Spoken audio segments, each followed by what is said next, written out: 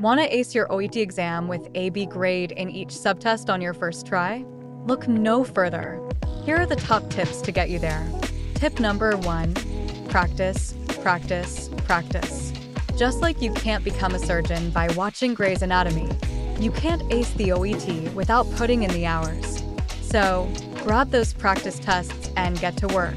Tip number two understand the format. Knowing the test layout is half the battle. Make sure you're familiar with each subtest so there are no surprises on exam day.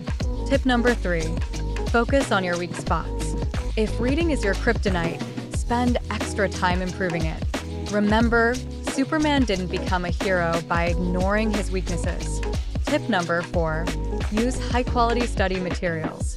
Just like you wouldn't use expired medicine, don't rely on outdated resources. Stick to trusted guides and practice tests. Tip number five balance your study schedule.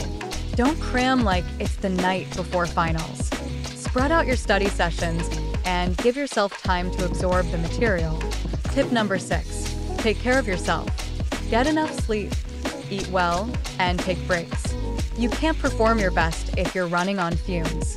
And here's a bonus tip stay positive and believe in yourself. Confidence is key, and a little humor goes a long way in keeping stress at bay. Ready to start your OET journey? Contact me, Steve, for the best OET coaching tailored just for you.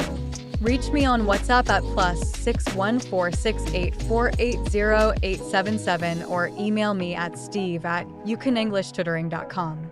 Let's get you that be great on your first attempt.